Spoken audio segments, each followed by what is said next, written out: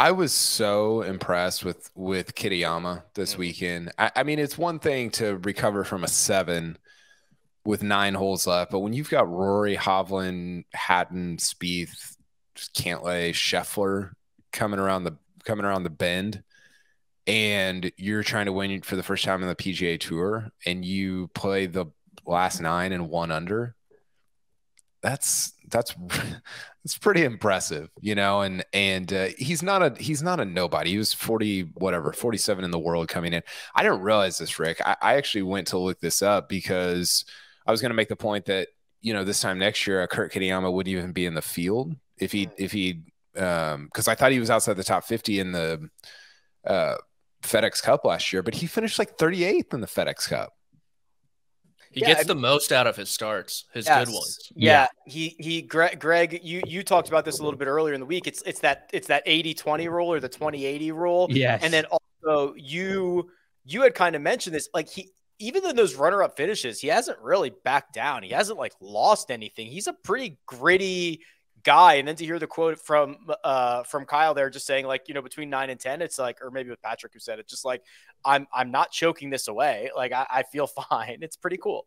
It's really cool. I mean, there's a couple things about him that I find really interesting. We said yet last night he's the ultimate popper, and I I was looking through the PGA Tour website, and his how'd that go in his you? in his career, uh, you know, it was pretty good. Um, five five PGA Tour top threes, uh, five PGA Tour top tens, unless I was missing something. So all of his all of his top tens are top threes. Yeah, on the PGA Tour, which is incredible to me. Um, and then there's 25 missed cuts in his PGA Tour career as well. So this is a boomer bust kind of guy, and to me, he got a couple of things kind of dialed in this week that he hasn't all year. Um, it, you saw the inconsistency in this performance because while he uh, hits two shots OB, makes two sevens on the weekend, uh, and is able to win. I mean, he he still he led the field or was tied first in driving accuracy. Uh, he was one of only three players to hit 50 greens, which at Bay Hill, that's kind of a a really important mark. If you can hit 50 greens, you're going to be right up there near the top and now uh, five winners in a row have been top 10 in greens of regulation for the week. So uh, it's a, a really important thing. But with Kitayama, he's 103rd on tour entering the week in greens of regulation, leads the field this week. Driving accuracy, 195th on the PGA Tour, leads the field this week.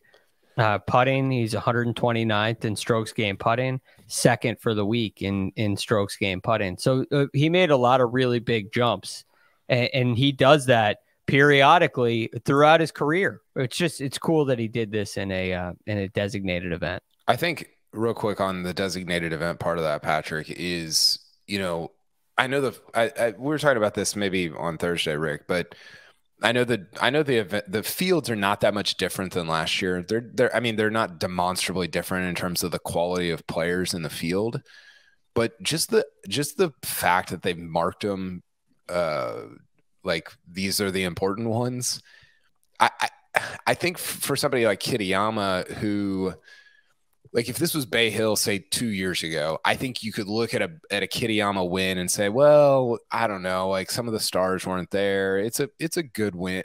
You can't. There's nowhere to hide now. Like you can't hide.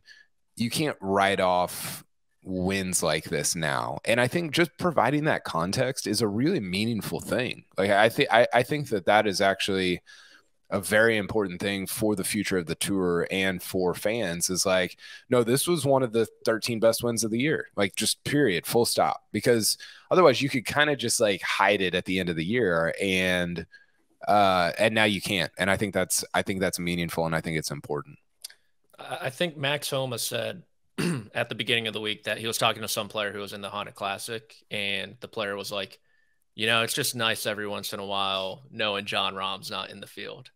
uh, so to your point, it's like this guy took down Scheffler, Rahm, McIlroy, and you have that benchmark of these events are going to be this high, and no matter how good, uh, you know, uh, 3M Open might be down the stretch with say three or four top tier players playing that and they all contend.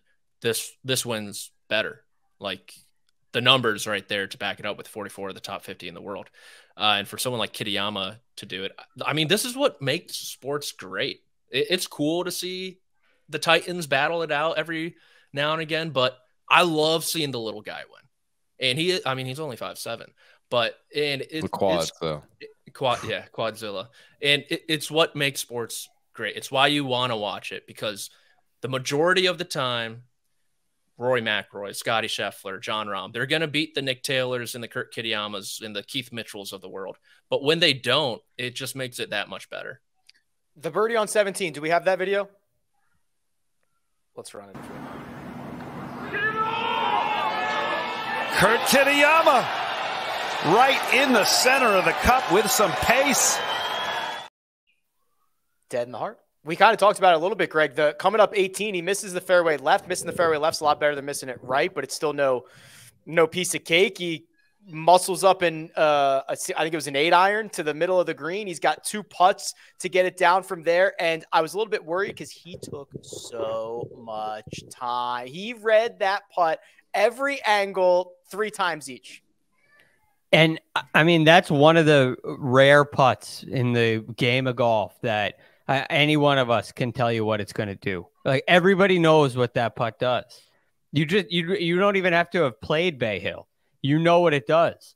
Uh, and, and so you see, but I I certainly understand it. But that was that was three putt territory, I would say. Uh, and boy, uh, he made a great stroke despite how much time he took.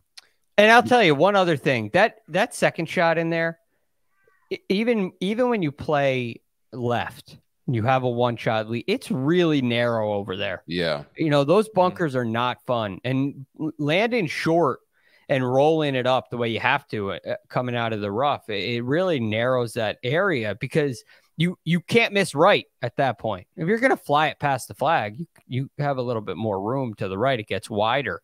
Um, but that, that's why hitting that fairway is so important. And it was uh, kind of a, a, gutsy shot to to pull that off. That how about how gutsy the uh, the the Scheffler shot was like two two groups earlier. That was the Viktor shot from last year. yeah, Viktor.